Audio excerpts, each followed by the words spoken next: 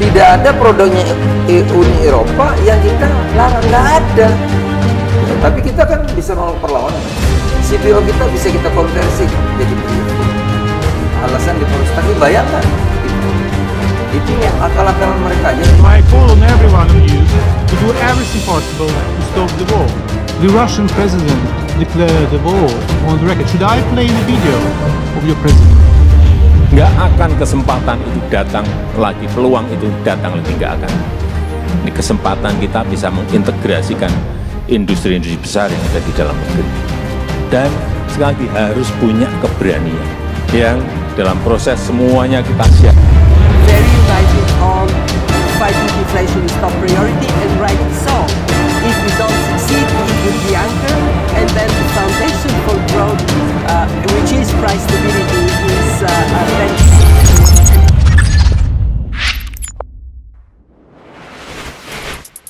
Sahabat bagi-bagi, kontroversi tentang kebijakan pelarangan ekspor biji nikel sudah bergulir sejak tahun 2019 sampai saat ini.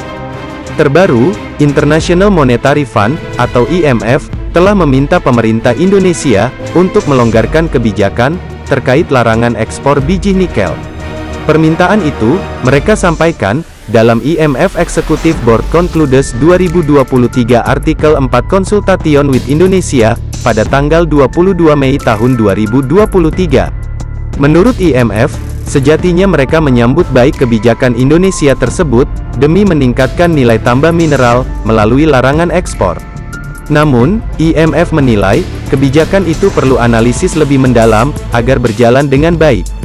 Permintaan IMF itu kemudian mendapatkan respon penolakan yang keras dari para menteri pemerintahan Presiden Joko Widodo. Bahkan, Menteri Investasi Kepala Badan Koordinasi Penanaman Modal, BKPM Bahlil Lahadalia, sampai menggelar jumpa pers untuk menanggapi permintaan IMF tersebut. Menurutnya, IMF telah mengganggu kedaulatan Indonesia. Senada dengan Bahlil, Menteri Keuangan, Sri Mulyani mengatakan, Indonesia punya pendirian dan pandangan sendiri, tentang larangan ekspor biji nikel. Meskipun begitu, dirinya tetap menghargai pandangan IMF. Menurutnya, program hilirisasi tambang, yang menjadi andalan Presiden Jokowi telah membuat neraca keuangan Indonesia, semakin kuat. Atas dasar itu, Sri Mulyani dengan percaya diri, menyebut, bahwa, program itu sudah berjalan dengan baik, dan tidak ada masalah. Lalu, melihat respons yang ditunjukkan pemerintah Indonesia terhadap permintaan IMF, menimbulkan pertanyaan menarik.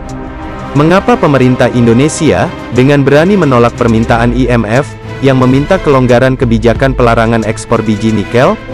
Bukankah terdapat Uni Eropa, juga di belakangnya, Presiden Jokowi, juga secara terbuka mengatakan, akan melawan gugatan, terhadap pelarangan ekspor biji nikel? Sahabat bagi-bagi, institusi internasional sering kali bukan hanya bisa mengelola berbagai kepentingan dari negara anggotanya, tapi juga memiliki dan bisa memaksakan kepentingannya sendiri. Oleh karena itu, pemerintah Indonesia tampaknya sadar jika rekomendasi dari organisasi internasional seperti IMF tak selamanya akan membawa kebaikan bagi Indonesia. Kembali, seperti apa yang dikatakan Menteri Investasi Bahlil, pemerintahan Presiden Jokowi telah belajar dari pengalaman yang Indonesia alami pada krisis moneter tahun-tahun 1997 sampai tahun 1998 lalu. Saat itu, bukannya membantu memperbaiki, IMF justru seakan memperburuk keadaan ekonomi Indonesia.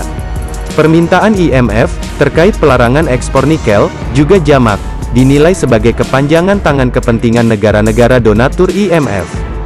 Negara-negara tersebut di antaranya Amerika Serikat, Kanada, Jerman, Prancis, Inggris, dan Jepang, yang memang sebagai negara industri, dengan kemampuan ekonomi yang tinggi.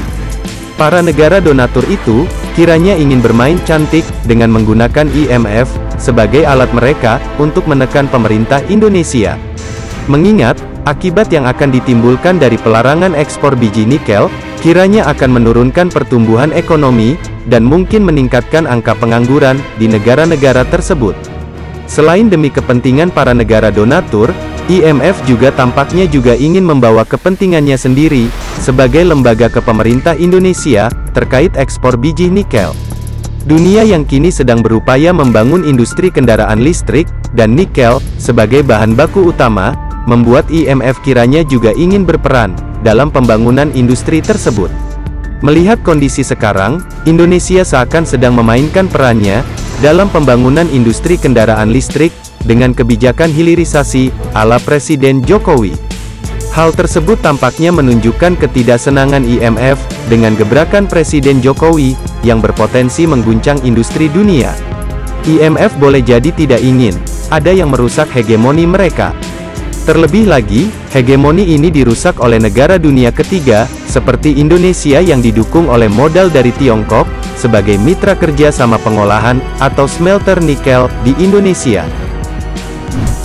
Sahabat bagi-bagi, kebijakan hilirisasi ala Presiden Jokowi, tampaknya memang harus segera dievaluasi, terutama, terkait proses transfer teknologi, dan perlindungan lingkungan. Tanpa rencana transfer teknologi, penguasaan industri oleh entitas domestik, perlindungan lingkungan hidup yang ketat, serta pengembangan industri hilir, secara simultan, kebijakan hilirisasi ala Presiden Jokowi, hanya akan menjadi instrumen industrialisasi Tiongkok. Dikhawatirkan, jika persoalan-persoalan itu tidak dibenahi, pada akhirnya, Indonesia hanya menjadi tempat relokasi industri kotor, yang sangat tidak ramah lingkungan, sekaligus, menjadi pemasok barang setengah jadi, yang murah ke Tiongkok. Merdekalah Indonesia seutuhnya, merdeka!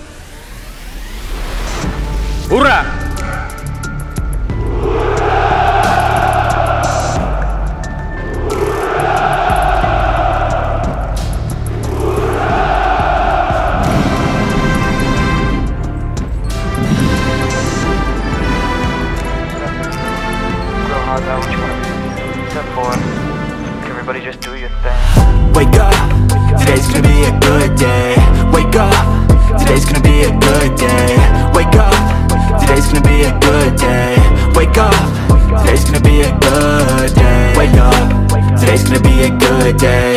Wake up, today's gonna be a good day. Wake up, today's gonna be a good day. Wake up, today's gonna be a good day. Yo. Set your affirmations, aspirations. I got shit to do, the aftermath of preparation. Good food, good mood, blood in circulation. One step at a time, yeah, that's how you make it.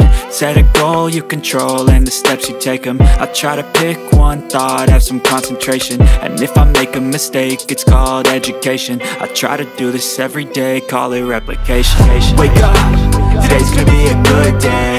Wake up, today's gonna be a good day. Wake up. Today's gonna be a good day. Wake up. Today's gonna be a good day. Wake up. Today's gonna be a good day. Wake up. Today's gonna be a good day. Wake up. Today's gonna be a good day. Wake up. Today's gonna be a good day. So life ain't easy, yo think there's a reason, though.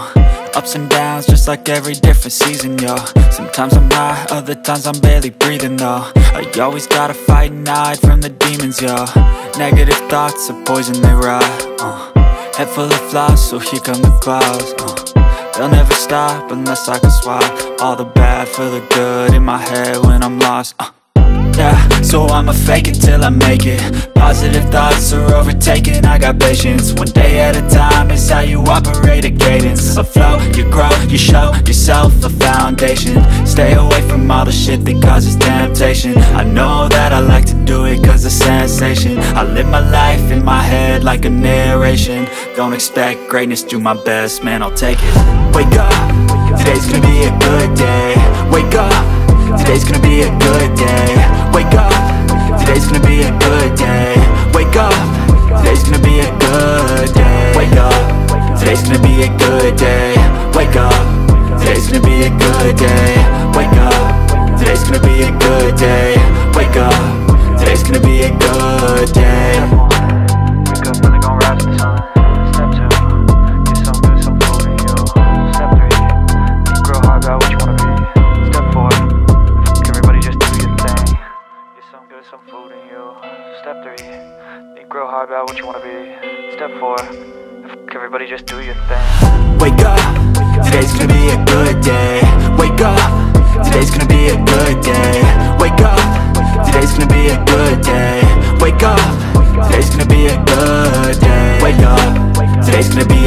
day.